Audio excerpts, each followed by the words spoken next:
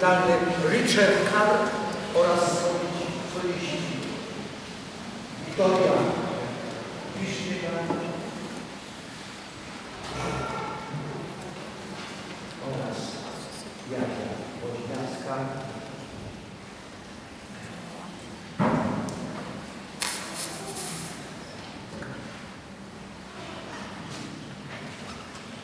oraz Jadzia Woźniacka przywitali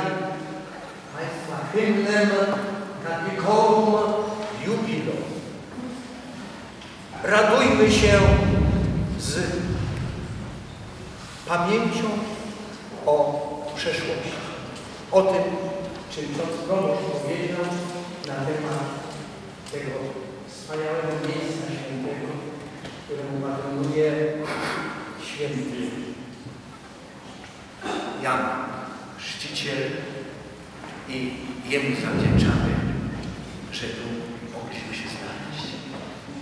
Y, Również dziękuję gorąco księdzu proboszczowi za przyjęcie nas na to wspaniałe, święte miejsce, gdzie chór oddał 47 swoje działanie, myślę o latach, 47 lat, kiedy zostaliśmy pobłogosławieni przez kardynała Wojtyłę i powiedział do nas idźcie i śpiewajcie.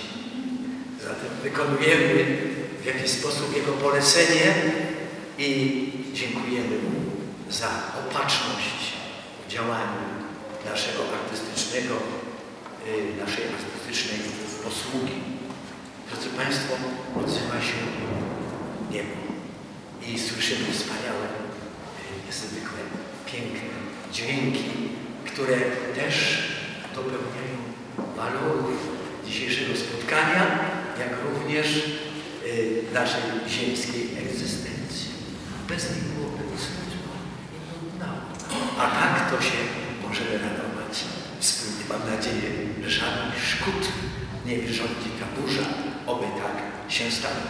Drodzy Państwo, wśród naszego repertuaru, który będziemy prezentować, y, będzie jeszcze w kolejności, Państwo mają zdaje się programy Gloria Domerdiego i y, msza potem też była przeprezentowana przez y, karteczki, na których jest program. Zatem cieszymy się piękną muzyką, muzyką, którą nam przekazała historia, kultura nasza, polska i kultura świata. Chór organum uczestniczył kilkakrotnie w spotkaniach, kiedy odwiedzał nas święty Jan Paweł II ojczyźnie. Śpiewał zawsze na błoniach, po czym również składał wizyty kilkakrotnie na Watykanie. To były wspaniałe, zapomniane chwile. Jedna, którą przypomnę, bo który ją pamiętał i będzie ją niósł w swoim sercu do końca życia, jak stanęliśmy przy Janie Pawle, przede wszystkim przy żłobku Jezusowym był Boże Narodzenie. Górale zakopanego przywieźli choinki Jezuska wystruganego z drewna i sianka podhalańskiego.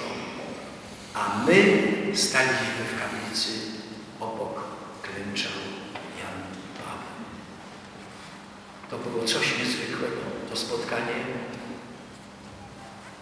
pamiętam, że upominał nas ksiądz Stanisław Dziwisz, mój szkolny kolega.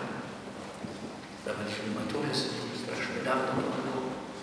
Mówi, ty przyszliście tutaj płakać czy śpiewać? Bardzo ciężko. Otworzyć usta, dać głos ze wzruszeniem. Także te spotkania bywały wielki wpływ na zespół, na każdego z nas, bo któż by się oparł takich niesamowitych, takich wrażeń i takich spotkań. A zatem myśląc o świętym Janie Pawle, o świętym Janie Chrzcicielu, o wszystkich cieszmy się i radujmy przy akompaniamencie odmiany